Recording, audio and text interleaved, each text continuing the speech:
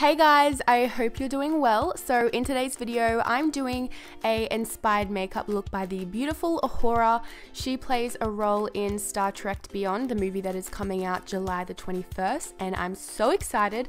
Her makeup looked amazing, so I had to recreate it, so let's jump into it. Let's start with a super clean and moisturized face so we can jump straight into the eyeshadow. So I'm taking a primer for the eyes. This will also cancel out the discoloration on there as well. As you can see, I have a lot of veins, so I just want a clear canvas for the eyeshadow. Uhura's signature makeup look was really simple yet really easy to create, so anyone can do this. It was like a winged liner, neutral eyes, and really highlighted face. So with the eyes, I'm going to start with a medium cool toned brown, and this is going to be the transition shade. So we're going to take this from inner corner to outer corner on a really fat, fluffy brush so it can really diffuse that brown and it can just blend up nicely. With whatever's left on the brush, we can sweep that over the lid, but I really do want to keep that quite bare. Of course, we're going to go ahead and clean up that eyeshadow that we um, did a bit of over blending with.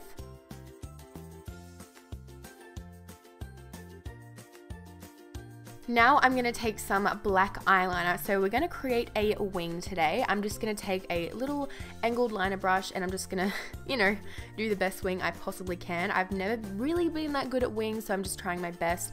As long as you just take your time, you'll get it eventually. So just doing like kind of a small wing, nothing too dramatic. Now going in with a white eyeshadow, I'm going to put this under the eyebrow. Uhura had a really intense um, highlight under the brows, so that's what I'm going to do. And then of course I'm going to go ahead and blend it out so there's no harsh lines. Now I'm going to take some strobing cream because we want the face to be extremely glowy and luminous. So just rubbing this all over my face. It feels so incredibly moisturizing as well. I love it. Now it's time for foundation, so I'm going to even out my skin tone. I'm just applying this foundation with a flat top brush and it just applies so seamlessly. So I'm just going to create like a medium coverage.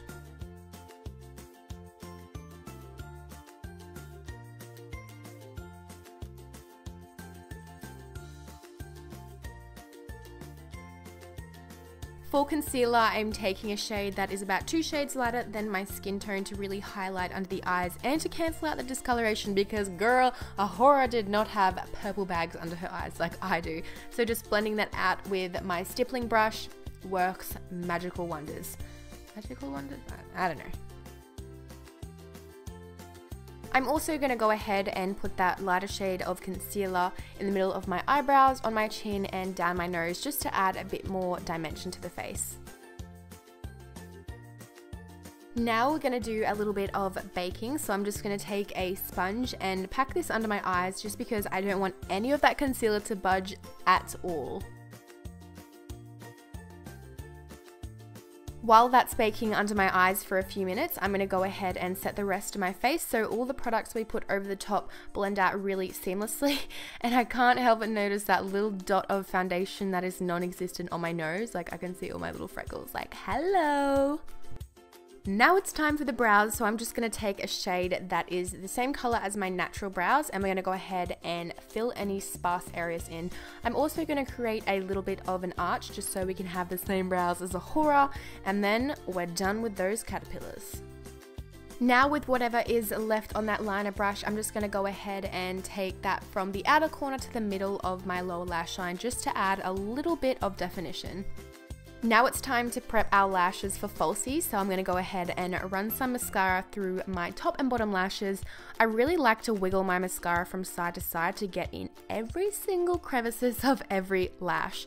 So with the lower lash line, I tried to keep it very minimal as that's what Uhura had, but um, I always go overboard with my lower lash mascara, especially with this mascara because it's so good. Yes, honey, it's time for the fun part. I'm gonna take some false lashes. It's time for a dance. Let's do this. So I'm just gonna pop these on. These ones are like a cat eye effect, which I love so incredibly much. These have a really thin band as well, so they go on just like that. Yeah. Now it's time to contour, so I'm taking a sculpting powder and I'm just going to put this directly under my cheekbones to really chisel out those bones, girlfriend. We're going to make it really intense. Now it's time for bronzer. So Uhura had a beautiful, beautiful glow to the face. So I'm just going to go ahead and pretty much put this everywhere, honey. So under my cheekbones, around the forehead, and also on my jawline. This is just going to add a lot of life back into the face. A lot of like, oh, I actually went outside and got some sun, you know? Now it's time to start with the glow, which is one of the most important things of this makeup look. So I'm going to take a kind of shimmery blush and I'm just going to put this on the apples of the cheeks and blend it back. It's going to add a really nice natural flush of color as well, which is so amazing. Then of course I'm going to go in with highlighter. So I'm going to spray my brush to make sure it's nice and damp so the highlighter is intense. This one is incredible because Uhura's highlight wasn't like shimmery, it was just really glowy and natural and just oh, oh, I don't even know how to describe it. It was so good. So just putting this on top of my cheekbones and pretty much all over my face. Like, go in with that highlighter, girl.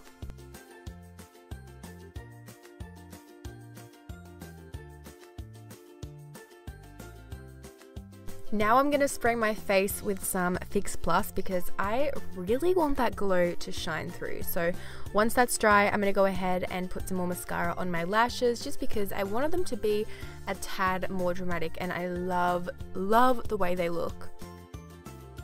Now taking a lip pencil that is a few shades darker than my lips, I'm just going to go ahead and outline them a little bit just to define them then I'm just going to go ahead and fill them in very lightly. I still want my lips to look quite natural so I'm not going too heavy handed with this step. To finish off the look, I'm taking a bit of lip gloss. I'm just going to put this all over my lips for a nice sheen. And I love this product so much, guys. Like, whoa.